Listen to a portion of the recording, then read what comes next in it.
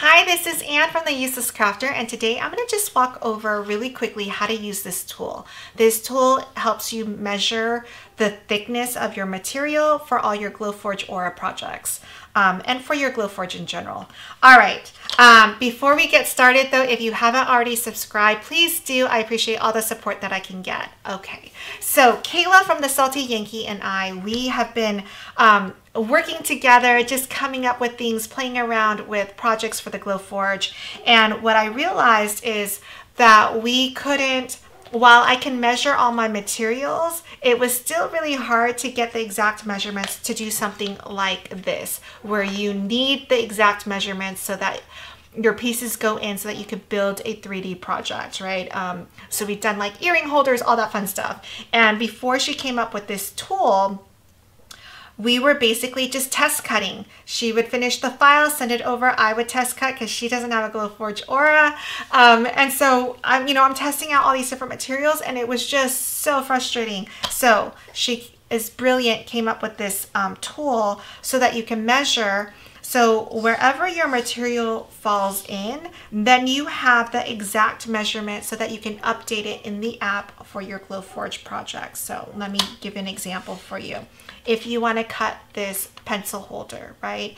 We've got little rectangles um, here to make sure that you have the right one, it depends on the material that you want to use. Now I made this for all my proof grade materials that I had. It's just nice to have like a little swatch kit. So I do highly recommend that. But for instance, if I know I'm going to be cutting with uh, medium walnut, for instance, so it's a proof grade material, which is great. My Aura camera will scan it and will know how to cut, score, and engrave but it doesn't know how thick it is for me to work and make like a project like this where it I need the actual depth, you know, like it can cut everything, but I actually need to assign a size so that the pencil goes through. All right, so let me show you how that's gonna work. Basically, you're gonna get this material and you're gonna start to see where does this fit. It's kind of, oh, it fits right there. So whenever I need a slot, and I'm gonna, it's gonna be like the eye doctor, right? This fits, it's still a little bit loose. I'm gonna go and make sure, so this is really good. It's tight. Let's see, I don't think I can get it in this. Oh, I can get it in, but I'm like jamming it in. So for this size, what I'm gonna wanna do is for the thickness, it's gonna be 3.2 millimeters and the equivalent is 0.126 inches. So let me show you how that's gonna work.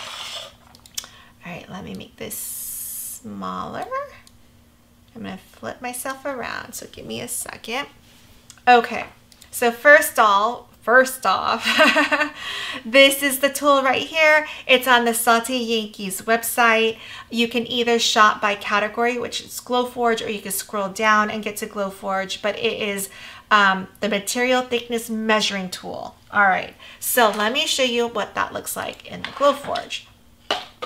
So let's change out our project and I'm gonna get you something that I've already done. So let's go to my designs and I'm gonna show you that pencil holder. So here is my pencil holder. Um, right now everything is in engrave, so I'm just going to change this for instance, and we're going to go to cut. Change this to cut, okay. Um, now you see these little slots right here. I'm gonna move it over here so that it's easier to see. Ignore everything over here. okay, so these slots, I need to change the thickness because if I was cutting this in acrylic, these slots would be different in the thickness, right? Or if I decided to cut thin wood, medium wood, whatever it is. So what you wanna do is you wanna be able to make those adjustments. So if you remember, this was at 3.2 millimeters. If I'm gonna be using medium walnut, for instance, um, and 0.126 inches. So I'm going to right click on it so that I can ungroup so that I can get to these individual pieces, right? So if I'm going to change the size for this one, I'm going to go to ruler and I'm going to change the width. So this is now 0.072. The equivalent is 0.12, oops, 126. And I want to make sure, oh, I do want to unlock it because I only want to change the width and not the height. And that didn't do it, so hold on. I needed to change it beforehand, so let's go back to the beginning, okay? and that's gonna happen, it's okay. Back, you know, hit the undo, back arrow. All right, so I want to make sure, I don't wanna, let's see. Oh, I wanna unlock it.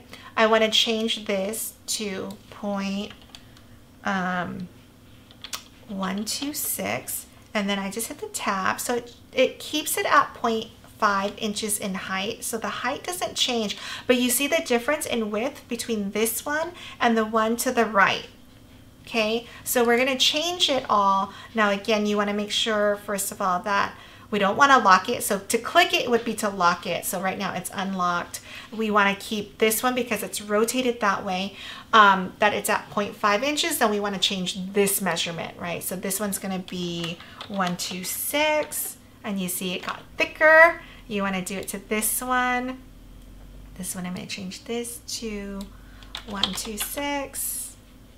And I'm going to change this one to 126.